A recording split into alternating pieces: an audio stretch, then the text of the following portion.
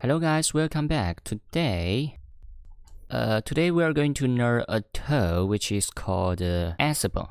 Uh, as far as I know, it's an it's a powerful automation tool under the Linux, and most people use it to deploy their products on the cloud or on the server. Um, but as I think, every powerful tool has some side effects, which is it may be very hard to learn and to be able to uh, use it freely. So that's why I record this video. On the one hand, I could teach you guys.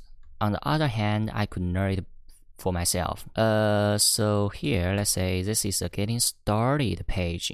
Okay, let's read those texts. Now that you have read the installation guide, oh, I didn't tell you guys how to install this. Uh, to be honest, it can be as simple as uh, this. You just have to run this line, line of code, Ansible, and done. Okay, after that, let's uh, read this again. As long as you have installed that, you are ready to learn how Ansible works. A basic Ansible command or a playbook, it contains three parts.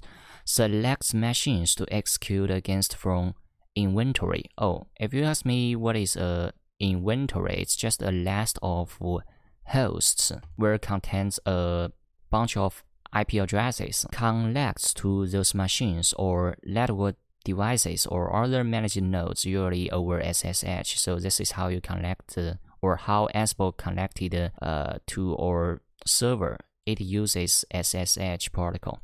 Copies one or more modules to the remote machines and starts execution there. Um, so why people use uh, Ansible? Because it provides a lot of different modules to do different uh, kind of tasks. And what this framework does is to copy those modules to the remote machine and run your commands that you have defined. Ansible can do much more, but you should understand the most common use case before exploring all the powerful configuration deployment and uh, features. This page illustrates the basic process with a simple inventory and a ad hoc command. This is just a command like any other program, for example, the Docker. Once you understand how Ansible works, you can read more details about uh, those commands, organize your infrastructure with uh, inventory and somehow like that. Okay, let's let's get started by reading those uh, sections one by one. The first one is selecting machines from inventory. Expo reads information about uh, which machines you want to manage from your inventory. Although you can pass an IP address to an ad hoc command, you need to you need inventory to take advantage of the full flexibility and uh, repeatability of Ansible. For example, how can we do that? We can create a basic inventory. Uh, like this, we can create a hosts file, a file which named hosts, and uh, AW line inside of it. For example, here we got an IP address. Um, but here's the problem. I, I don't know how to define the port for now, but I'll try it out. First, let's just create a hosts file. So what we can do here is to create a host uh, inside it, I'm going to do this. This is our local machine.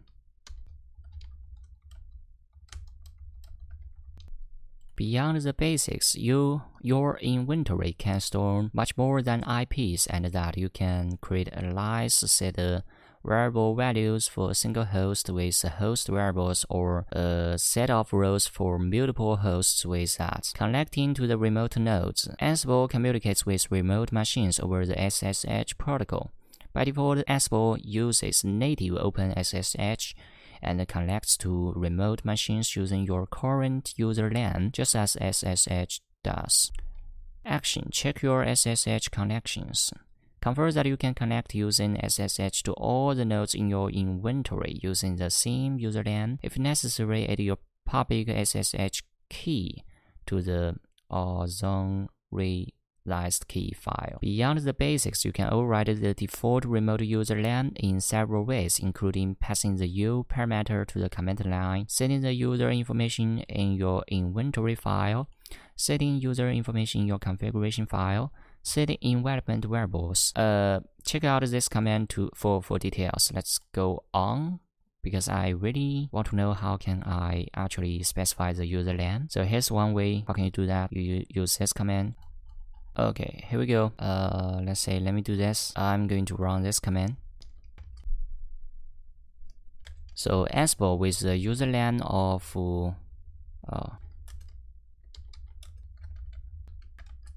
uh, wait a minute. Let's say where the problem comes from.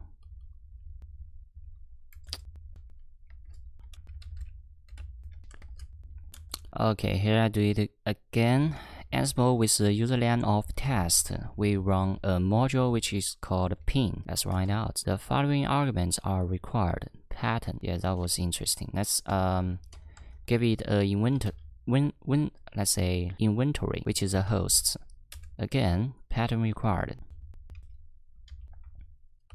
So ping what? Ping my host. Let's hit the running button. Another, the following arguments are required. Pattern. Let me do this uh, again. Not working, guys. I think this link is totally uh, useless. It doesn't actually um, guide us to the right uh, usage of this uh, tool. Okay, then let's uh, run the first Ansible commands from here. Ansible all with a module of ping. Provided host list is empty, only localhost is available. Note that implement state localhost does not match all. Then let's specify the host's file here. No, that's not working, so sadly. I didn't see this output at all.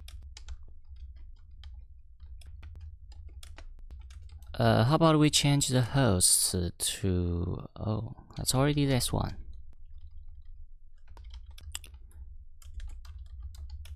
Okay, if we use if configure, we could say the other host land, which is um, which is the same thing as localhost, but with a different uh, port number or with, with different IP address. Let's say if we change it with this uh, kind of IP, would it work or not?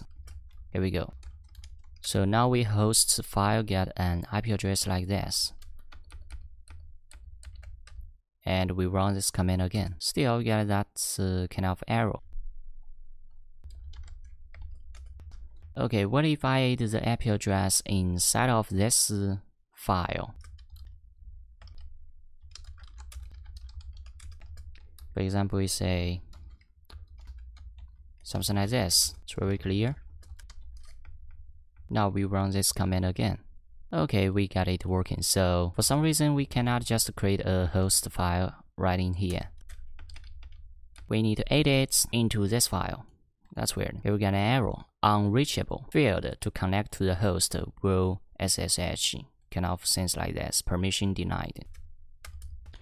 I was thinking if I could change this port to 2222 because uh in in in let's say in this port, I have created a Docker SSH service.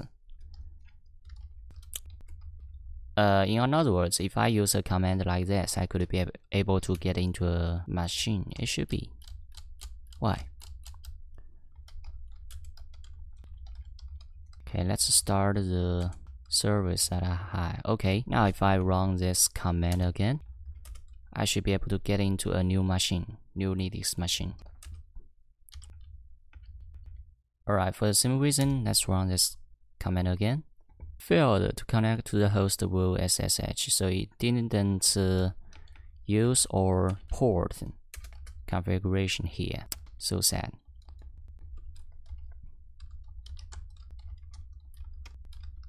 Oh, you know what? Maybe we could change the user to something else. For example, we can change it to test.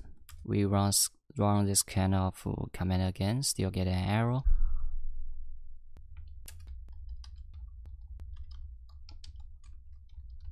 Uh, if we change the host's configuration like this, let's say, like this one, will it work or not? Let's try it out. Permission denied. Well, I start wondering if we could, uh, oh, we could do this, let's say.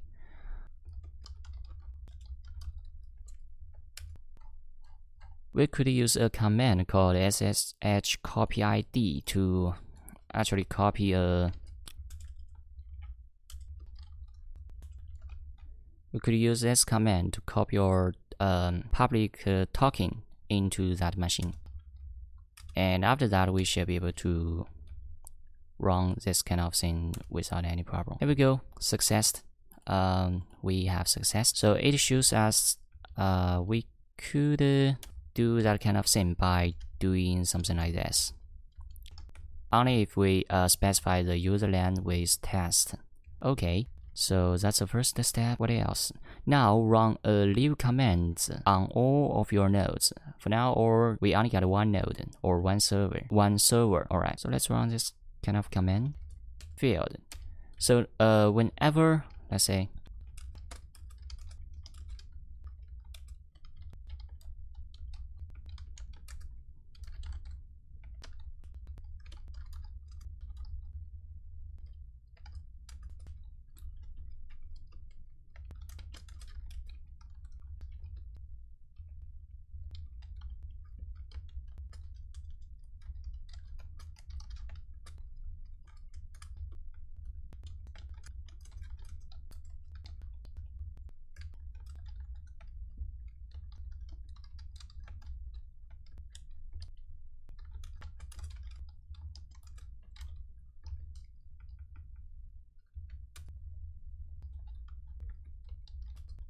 So again, no matter what of command that we run, we must pass it the U with our userland.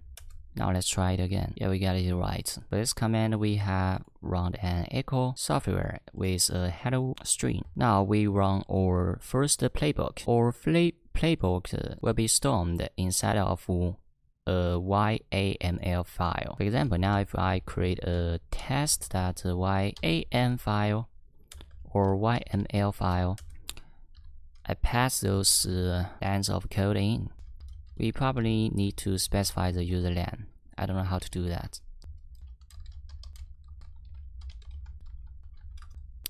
Uh, from a post, we know that we could add the following to our inventory file. For now, the test.yml is our test file. So again, this file is our test file. So we added those commands on top of everything. Let's say if it's working or not. The user would be equal to test. The SSH password also equal to test. Although we could just ignore it since we already have the, let's say, the key, the public key. Okay, then let's say how can we how can we it? We could say Ansible playbook without file we have. Here we go. We got an error. We were unable to read either as JSON or YAML. Uh, so we probably did something wrong with the uh, configuration.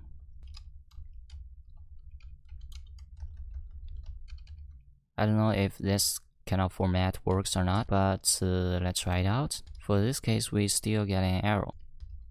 Okay, probably we should create a inventory file. Inside of this file, we define our host and its uh, its port with some configurations for it. For example, the test the userland would be equal to test, the password would also be equal to test, and the three is are the variables for this application. We save it. On the other hand, we comment out the old files inside of this one. And we delete those codes in here. Again, how do we how do we run it? We do this kind of thing. We do it again, I'll get an error. Ansible playbook with test YML. Here we got no hosts matched. Yeah, that's simply we didn't pass the uh, victory to it.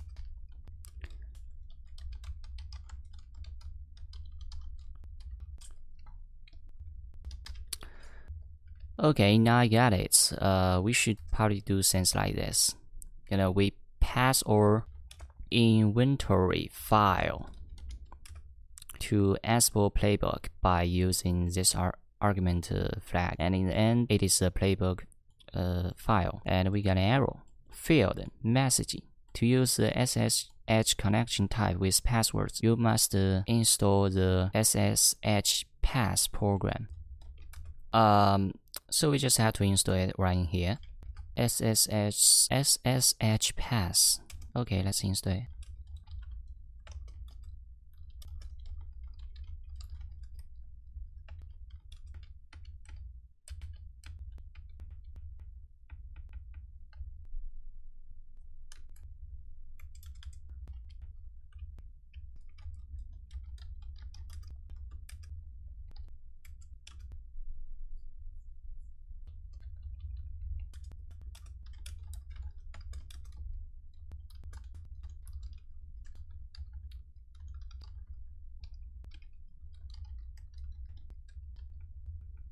Alright, now if we run this task again, no problem would happen. All we need is the SSH pass, but normally I guess it's not necessary. Oh, it's necessary. For some reason, um, some of our server, if you want to log into your server, you have to provide a password.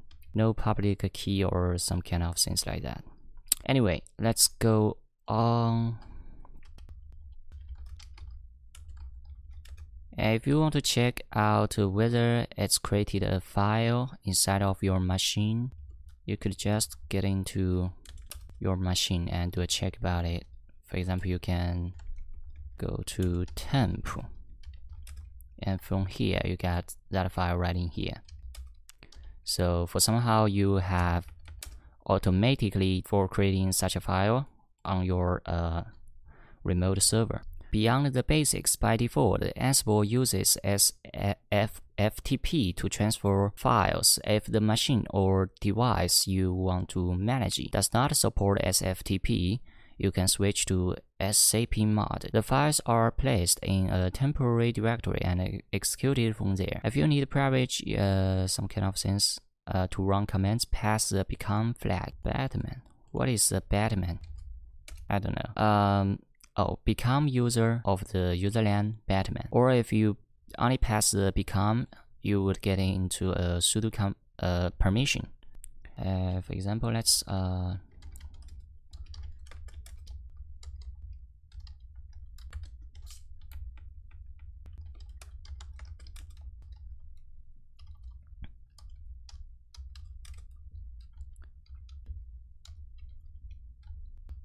uh let's say so basically we have accomplished the most basic usage of of the Ansible.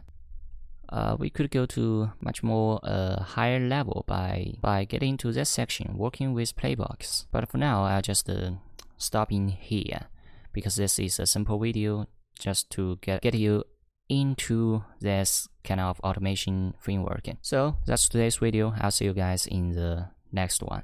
Bye